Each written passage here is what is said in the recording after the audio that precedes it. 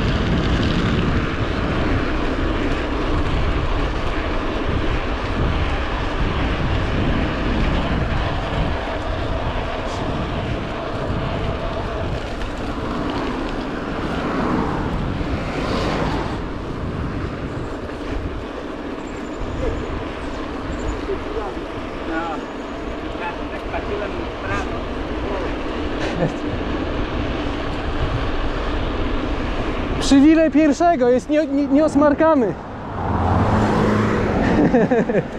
Kiedyś Darek i on ma syna Remka. Te, Remek już w studiach skończył, poszedł chyba do pracy. Ale jak Remek był mały, to pani do niego coś tam w szkole tam wytrzyj. Wytrzyj gile. A tam do tego chciała. Tak. A Remek mówi,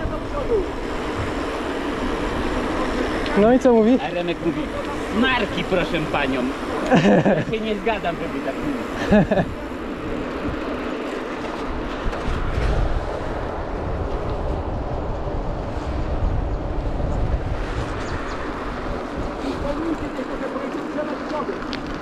No dobra. сколько?